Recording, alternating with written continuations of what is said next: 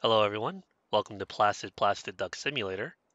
As of the update of March 24th, 2023, the devs gave us a new patch. What we all originally thought was just a small update turned out to be a little bit more than what we expected. The patch has introduced some secrets into the game that the community is still discovering right now, so I thought I'd make a video detailing what has been discovered so far. Heading back to the Infinity Pool on a old save file now allows you to actually click on this door that has a four digit keypad on it. And I'm going to show you how to find the code because the code is different for everybody. So our first clue is going to be on the blackboard duck. It says the door will open when you find D and the last bit is covered up. There's also a bunch of equations on top of the duck as well, but I don't think they're relevant. But if you get the Terminator duck and scan it, it'll actually reveal that it says code at the end. So how do we figure out the code? Well, actually, you have to go back to the quacking the ice stage to get some clues on how to figure it out. Again, this can be an old existing save that you already have. The one thing that has been changed on this map is now we have this curtain here, which has something hidden behind it. Now, unfortunately, the only way to get this curtain open is to wait, like usual. So, skipping forward, with the curtain now open, it now reveals to us a bunch of posters Upon closer inspection, we could see that the first poster is relating to the top hat duck. The next picture shows us an old-timey cartoon duck. The third picture shows us the psychedelic duck. The fourth picture shows us a bunch of ducks playing a card game, featuring the Secret Service duck, the duck with sunglasses. I think this is either the King of Hearts or the King of Spades because there's two different ducks that look very similar. The Duck You duck, the Crying duck, the Normal duck, and finally the Top Hat duck. Except this duck looks a little different than the top hat duck. I have a theory that this is the ghost duck. Now, I don't have footage of this, but if you scan the ghost duck with the Terminator duck, it'll actually show a description of the duck saying that this duck is a cheater. And if you look very closely in the picture, you'll see that this duck is hiding a card. But that's just a small theory. On to the last picture. And the final picture is the most crucial one, which shows us a blacked out duck with all these weird scribbles along with a code in the bottom. The numbers, Mason. What do they mean? Now, I'm not sure who it is that discovered this, but if you look in the forums, you'll see that it's actually ASCII. So it's very simple. You just input the numbers from ASCII to text, and you'll get Ellisdina. So with all this information gathered, let's head back to the Infinity Pool. Now, thanks to Lightwoe on the Steam forums, he actually discovered that you can actually change music on the radio and he lists out a few channels that he found. One of them is just a song that just keeps repeating over and over again.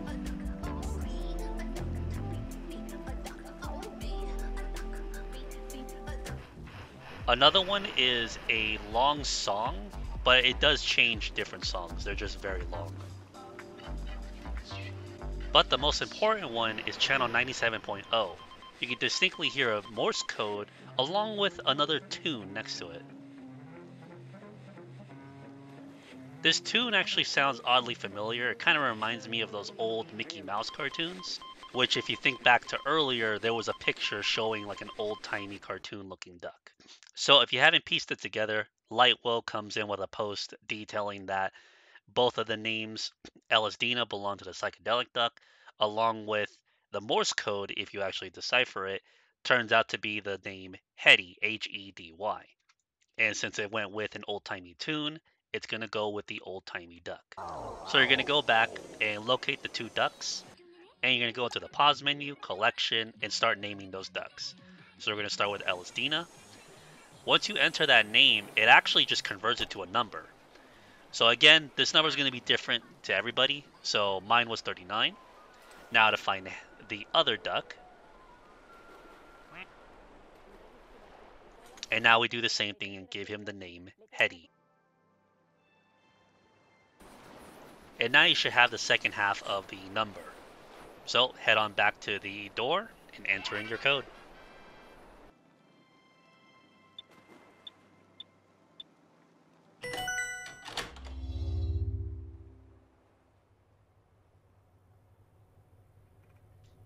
Alright, so there's definitely a lot to explain here, so we're going to go to each little segment. That ladder leads back outside. This shelf here actually had a soda can right in the middle. Once you click the soda can, you like view it up close and then it disappears. Uh, there was also a picture of the anime-looking duck, but you could also interact with this chessboard, and that's the only piece you can move, along with this d20. So I have a feeling these are also clues to help piece together a different puzzle. I completely forgot to mention this. Once you discover the soda can, a folder will pop up with a file inside called texture.db. Nobody knows what this leads to. Uh, there is nothing in the game's files about it, so we have no idea. However, once you find that can, it will always be there in the pause screen on the bottom left from here on out. There is also this soccer ball that you can interact with. I have a feeling the number on the soccer ball might have something to do with the puzzle. There is also a bed that you can click on, and you'll have a close-up view of all the pictures taken, which if you notice, it's all pictures of that anime duck. So whoever this is was a anime duck fanatic. The next table is actually one of the more fascinating ones because it has a blueprint of both of the area maps, along with a bunch of notes, which are written in Italian, I believe, along with photos. Now, I took the liberty of taking a screenshot of this image, putting it into Photoshop, and just lowering the brightness and hiring up the contrast. That way we could potentially see a bit more detail. We'll come back to this and talk about it. I just want to go over the last thing about this bunker and then we'll come back and just theorize on what all this stuff is. So the last section in this bunker is something very interesting. So we have six screens. One of them is at Infinity Pool, the other one's at the other location. And you'll notice that there's a bunch of events like the plane, boat, the ducks, shooting star, dolphins, the king duck, along with the rain. It's like as if this entire game is just a stage or a simulation. But if you press on this duck button and head back outside, we have a new duck in the collection, the QR code duck. This is the only way to make it spawn. Now, I have tried to get this QR code to work. People on the forums have actually gotten it to work, and it does lead to something interesting. The link takes us to this unlisted video on this channel that also has no videos. Um, I will link it on the description below so you guys can go out and check it out yourself. But something interesting that I could not find that apparently someone else has noted on the forums was a comment left by the creator of the game, which was made two weeks before this update rolled out. So I'll leave this up here for a little bit longer. You guys can read it. Uh, I'm sure it probably has some more clues about what else to find but I cannot find it on that video anymore. Now, unfortunately, this is where all of the discoveries end. If you were wondering what happened to that soda can, it actually does spawn here in the Infinity Pool if you go to the second chair, but you can't really interact with it. So if you haven't done so, please go check out the discussion about the locked door. This is where I found majority of all of my discoveries. And it also led me to other rabbit holes that people are also finding out about the game, other little secrets that people are trying to decipher. Checking out the current mysteries thread, you'll see a bunch of things that people have documented and discovered. One of those things referring to the Scrabble duck, and if you look closely in the front of it, there is actually a partial code for a Discord link, which as of the making of this video, nobody has seemed to figure out yet along with other strange writing found on the Scrabble Duck as well. And of course, this. And in all honesty, I'd rather keep the video short and I'll just make a separate video just detailing all the little individual things that I have analyzed and kind of tried to discover on my own.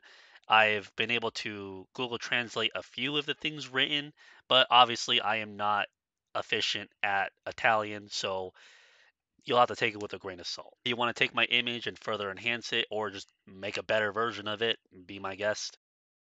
Right now, it's looking like all the clues are stemming to IRL, uh, more or less towards where the creator used to live in Italy, which is the location where the video was from.